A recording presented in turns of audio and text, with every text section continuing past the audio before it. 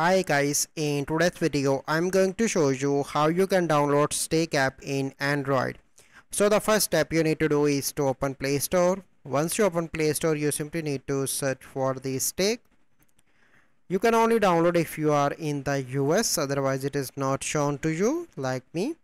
But you can see app on the second or on the first like this and you simply need to click on install and after that the app will be installed in your Android smartphone.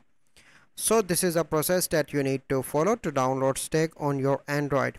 So I hope you find this video helpful. If you find this video helpful, must like this video, subscribe to our YouTube channel for future videos. We'll see you in the next video.